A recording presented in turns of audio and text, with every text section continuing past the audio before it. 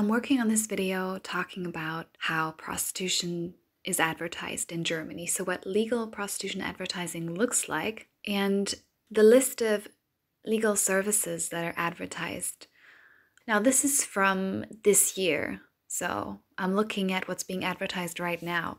Because, for example, they outlawed the outright advertisement of pregnancy, mothers and child rights reasons. That doesn't mean that women in an advanced stage of pregnancy aren't still in the industry and that there's huge lack of support for them, etc. But at least the advertisement is no longer legal and normalized the way it used to be. The stuff that is still legal is still pretty shocking to the point that I've been doing this for years and I still get disturbed sometimes. And I just keep circling back to this comparison that someone else started. I don't know who or I'd credit them, but someone said or wrote they don't understand why people condemn projects such as bum fights, but they have no issue with prostitution and porn.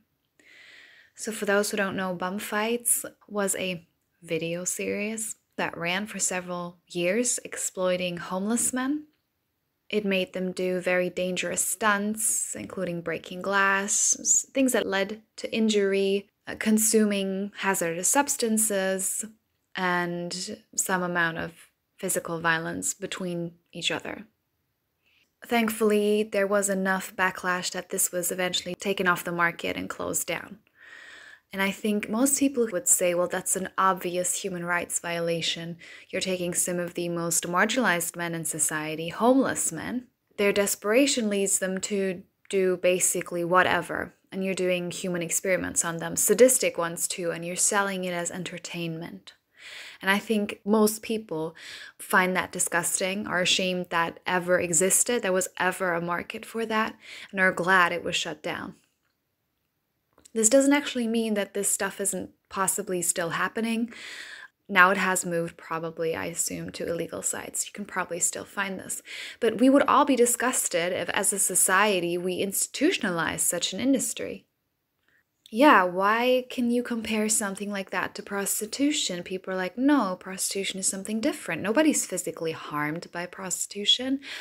You know, if there's condom use and Johns stick to what it was agreed, then yeah, what's the harm? I mean, not only is it not true that there is consistent condom use because the financial pressure makes many women, even if it's legally mandated, not use the condoms, or there's Johns pulling them off, and Johns violate their agreements with women all the time.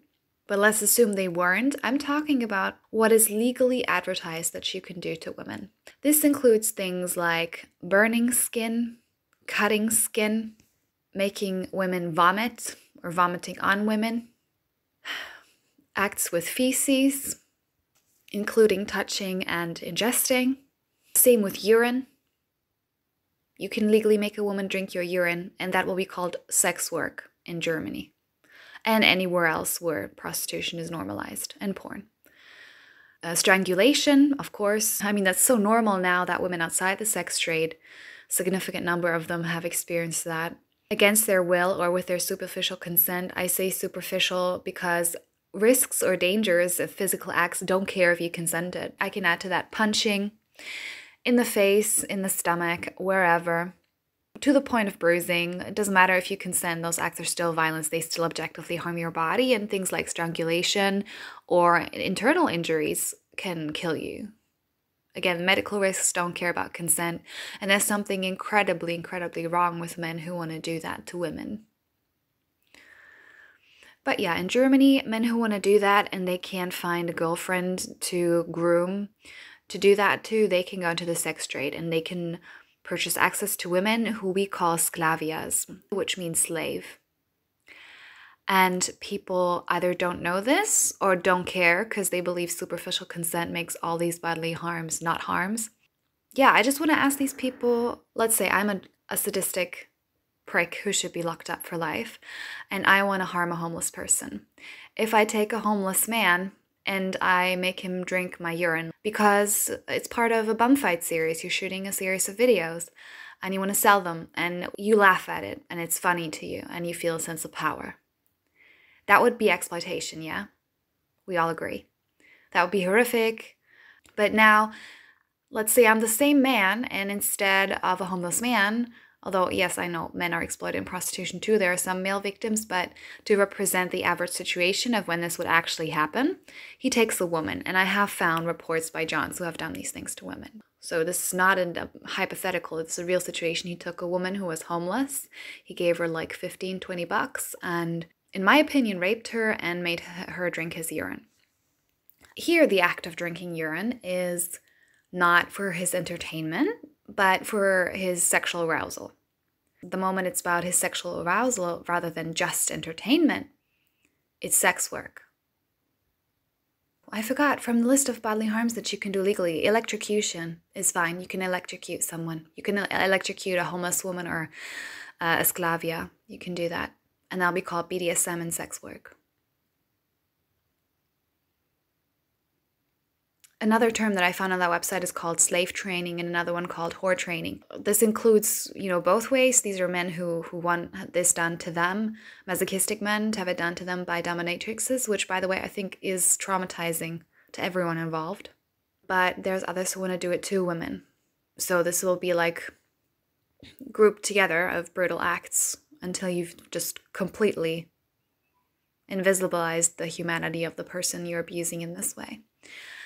Anyway, if you're in the sex workers work camp, I want to understand your definition of sex work because if it includes, you know, making women drink urine and eat shit and be nearly murdered by strangulation or having their skin burned and cut and having them electrocuted and tortured, I want you to explain to me why it's okay to do that for the purpose of men's sexual arousal but not mere entertainment.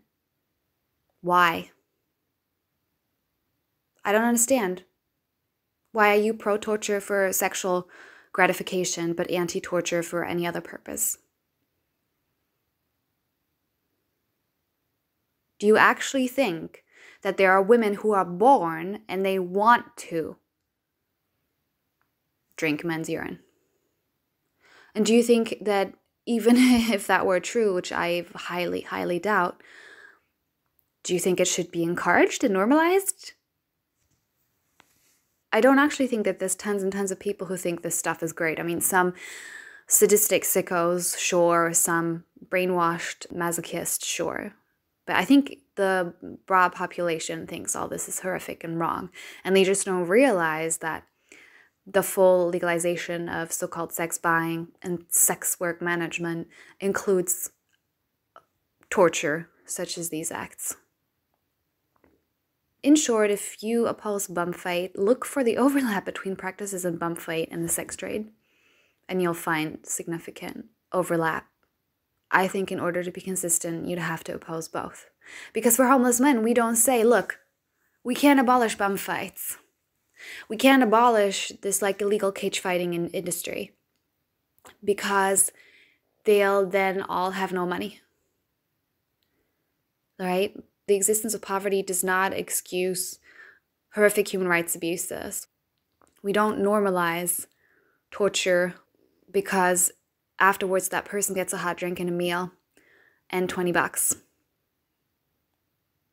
The people who actually believe this stuff, I don't I don't understand you unless your religion is like literally some kind of really, really twisted phallic worship, where the male orgasm is what all of society should strive to maximize above any other consideration.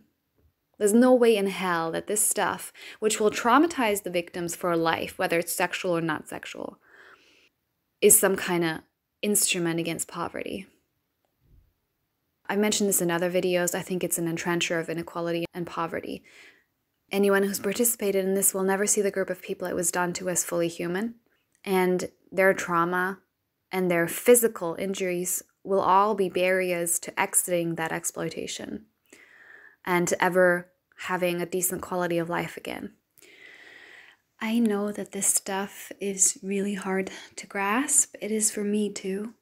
There is reading the list of these acts, and then there is reading the story of a woman who went through it after I recorded this rant today, I went on Twitter and there's a German sex trade survivor who tweets mostly in German, but it's worth pushing the translate button. Her name is Kali, like the goddess, underscore I am.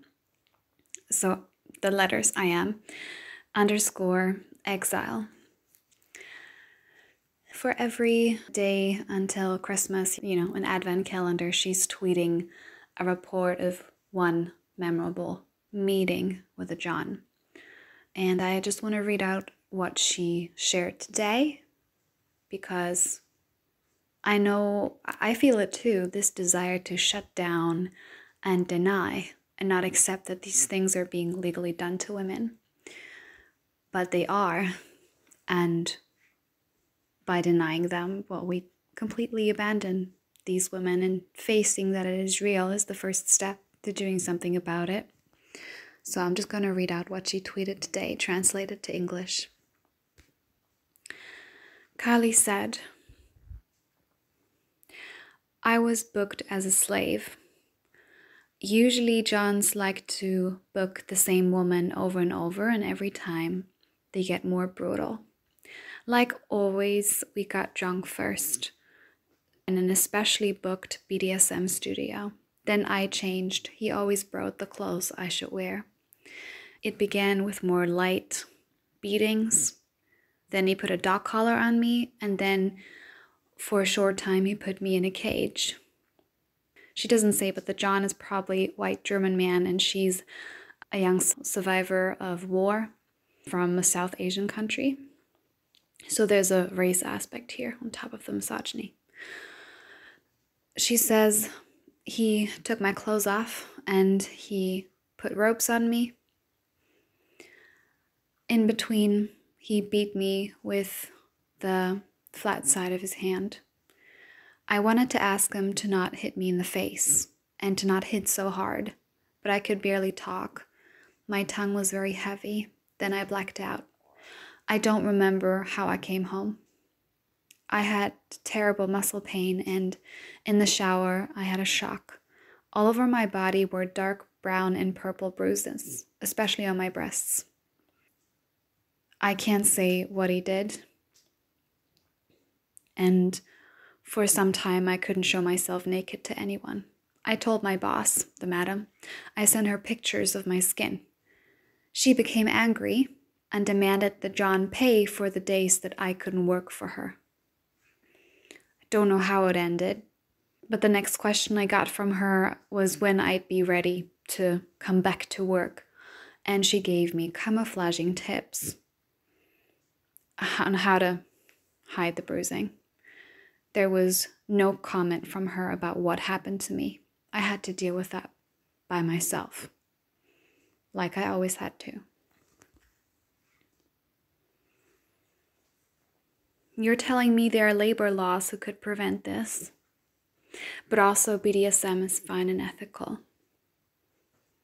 And he paid, so if he pays, she consents, right? Where's your limit? When is it torture and not sex work? You tell me. After recording this, I tweeted similar statements as you find in this video. And then in my timeline, I came upon this organization that is a pro prostitution organization that tweeted about how prostitution is not inherently dangerous. It's just, you know, the laws and the stigma around that harm women. Nothing about mm-hmm. prostitution itself is harmful. And if we all just acknowledged it as work, then, you know, that'd be nothing in particular to worry about. It'd be reasonably safe and dignified, etc.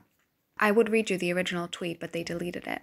I couldn't help myself, so I responded with Women can be legally beaten, kicked, cut, burned, suffocated, urinated on, made to drink urine, defecated on, made to eat feces, made to pretend they're underage for the sake of pedo fantasies, gang banged while eight months pregnant in the legal German sex trade. That is violence.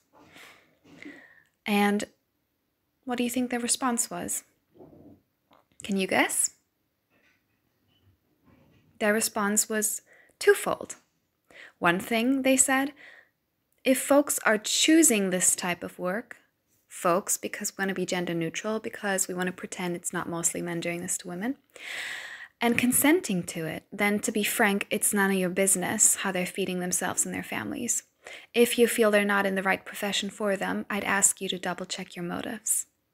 So it's not violence, because we just assume that most of the people enduring this consent. So they obviously disagree with my take that some things are harmful whether you consent or not. Uh, you can eat feces, and as long as you were like, I'd like to feed my kids by eating feces, then there's nothing fucked up about that. There's nothing wrong with a man who makes a woman do that. That's what sex work workers work ideology does to people's brains, I really.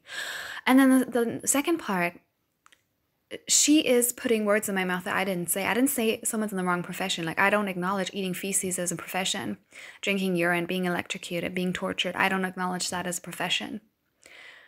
And I'd never say to women, you're in the wrong place. I'd say, well, first of all, I don't lecture individual women unless a woman comes to me and says, I want to discuss my prostitution involvement with you.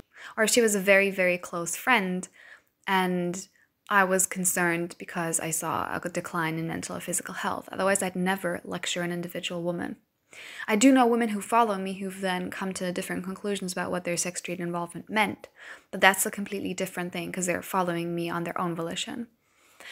But anyway, you know, if, if you are feeling traumatized by having to drink men's urine, then you're not in the right profession. Like, do you, do you see how these people who say that stigma kills actually are perpetuating it by suggesting that women who are distressed or harmed or traumatized were in the wrong profession. And that's the only explanation because there's nothing wrong with drinking urine.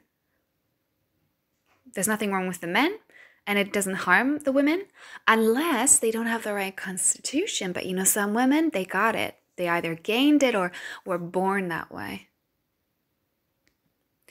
And the response to this tweet that they haven't deleted yet are pretty good. So, this one person saying consent is not a justification for the practices themselves. A practice isn't good or right because someone agrees to it.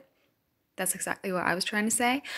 And someone else said if a woman chose to be the housewife of a violent husband and even justify and consent to his violence, would that be valid? Is it none of our business as feminists? That's what I also say often. Prostitution is like an abusive relationship. I'm not saying for every single woman, I don't know every single woman's story, but for many, many, many women, and many survivors have told us at the time they would have defended the industry and everything connected with it tooth and nail because it felt like their lifeboat, even though like the lifeboat was slowly sinking. Like if a husband made his wife drink urine, could I call that domestic violence? Or are they just a kinky couple? And yeah, men can do these to their wives and girlfriends and they'll be considered BDSM. And every woman is assumed to be consenting until she can prove otherwise. That's why campaigns such as We Can't Consent to This in the UK for women killed through strangulation, supposedly consensual erotic strangulation, why it's so important to say no, actually, things that can kill us, they're not consensual. And actually, these are indicators of domestic violence, intimate partner violence male violence. And this is not about the state coming into everybody's bedroom and taking away their gags and chains. It's about saying that when a victim comes forward, we take things such as be it the pimp or the John or the boyfriend making her drink urine as a sign of sadism, as an act of bodily harm. It's about how we address that situation when she asks for help. And it's also how we talk as a society about what we normalize and that we continue to critically analyze who does it to whom and why. Why is drinking urine a sexual act? Explain it to me. If two people do whatever acts with each other and they don't want to tell no one and they have fun, and no one ends up severely injured or ill, I don't care. But I don't want a presumption of innocence if a victim does come forward, and I don't want it taught to teenage girls that they should submit to whatever, and it's all just kink and it's all just fine. This is how this does affect everyone. But it's especially egregious in the sex trade because you're saying, you know, the roof over your head the food on the table for your family. This is what it's acceptable for you to endure. Eating feces is not a job. Drinking urine is not a job. Being electrocuted is not a job. Being beaten is not a job. In my opinion, being penetrated is not a job. And here's the amazing other thing they said. So the, the pro prostitution organization said, Would you please ensure to place a trigger warning for folks who've been sexually assaulted and following this page? I understand your need to express your opinion, but we're not okay with folks overcoming trauma being triggered by folks here. Thank you.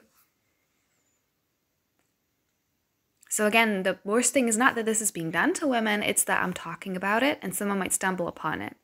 And the response to this by another Twitter account is So you promote an industry so horrendous that you can't neutrally list the services legally available without invoking sexual violence? Interesting. What other industries function this way? If I describe the gross parts of commercial fishing, will that trigger rape victims? Honestly, that's the reply I expected. I expected that consent is some kind of holy grail and can do anything I think, short of murdering someone, I don't know, is, is there ethical cannibalism if women were cutting pieces of flesh out of their skin and Johns were eating it? Or Johns were cutting skin out of someone and making women eat it? Like, where's, where's the line? Uh, murder?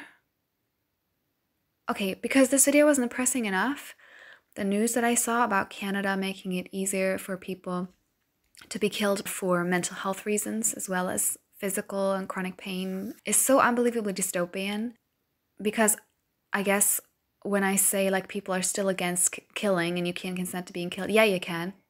Not in the sex trade, but in the in the assisted suicide industry. Which what I'm reading about it is I can't possibly support this. And also this connects to the sex trade. We have a huge lack of funds to support women and they are disproportionately affected by mental and physical health problems, severe problems, chronic suicidality, certainly a thing that many, many, many go through. Studies confirm this. I can totally imagine, even now, but especially if Canada should flip from the Nordic model that they refuse to implement to, you know, the free for all model that's currently being advocated under banner of decrim, that, you know, instead of exit, if you come out of sex state distress, first of all, you were in the wrong profession. Like, what's wrong with you? Why don't you like being gangbanged by men? You got the wrong constitution. Now you're traumatized. Well, we're not going to give you any service, but we'll murder you. You can, and you can consent to that. So no, actually, there's no bottom to what I don't know what, what's the right term. Patriarchal, neoliberal. I don't know. Whatever the parts of society that do these things permit, whatever that is. I don't know who said this, but a bunch of feminists said like patriarchies are a death cult. I see what they mean.